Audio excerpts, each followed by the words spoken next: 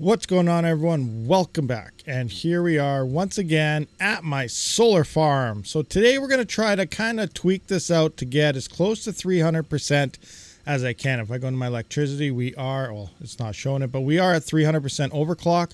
But I want to fill up this third and final plot here. If I go into them, we can see GPU 1 and 2 is full. It's mining away. Main, that's where I'm at right now, is has some space. So I want to put in some cards here. And plot power here is loaded up on only power. So I want to fill this up and then again like get as close to 300% as we can. We have about a week until the following Sunday. The update happened yesterday. So I guess we got about six days until the next update. So we don't know if we'll actually see an update or not. Speculation.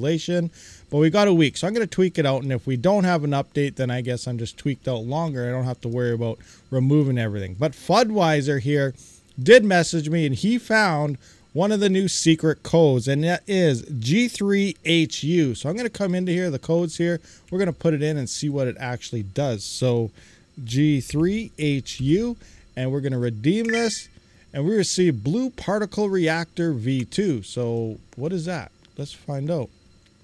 That kind of sounds like it'd be a power supply uh, potentially. So we're going to go to electricity. Wrong one. We're going to go to build here.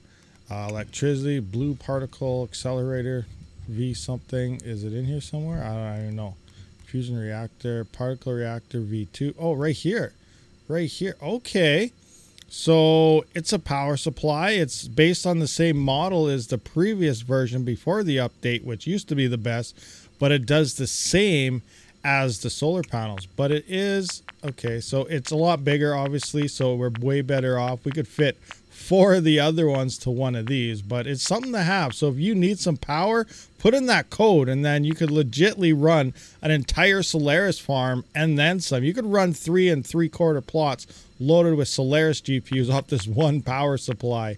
So that definitely give you a Solaris boost if you're still in the Solaris department. So use that code again, G3HU, and you will get a pretty darn good power supply here. You know, for especially for all you guys just starting off. I don't know if there's any level requirements or anything for that code, but that's a pretty darn good code actually, especially for all you newer people out there. All right, so looks like the algo just changed. So let's see where we're at here. 1.5. Let's rock that one. So this says I sorry about that. So this is about I think maximize where I'm at right now. Remember one plot I could fit a few more racks on, so we'll probably have to drop one or two and put power. But right now I'm at 298% overclocking with this about a quarter full and just over half here on the power on this plot and then my other plots you like this one for an example we'll go look at plot four here.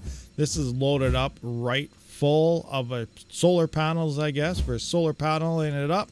Free power that's the way you got to mine crypto in real life. You need solar because then you don't have any expenses when it comes to power. And that's your biggest uh, expense is power when it comes to crypto mining. But regardless this is a game so you don't have to really worry about that aspect of this. But this is the solar farm plot uh, GPU plot 2. This is my big one right here. Load it up, load it up, and it sometime today. Come on, there we go. So this one's loaded up here, loaded up with GPUs, as you can see. Uh, plot two is also, or plot one, I guess, is loaded up. And then we got our main plot, which is the one we just finished working on. So I think I pretty much maximize this.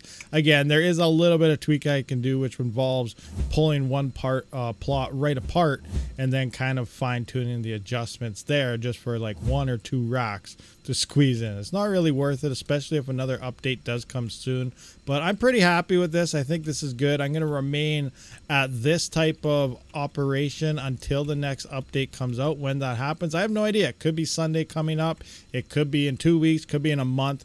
We have no idea, but we'll wait to see what happens. And when a new update comes, you know, there's going to be different power. There's probably going to be different GPUs, and we'll just have to change everything all over again. But until then, right now, we're good.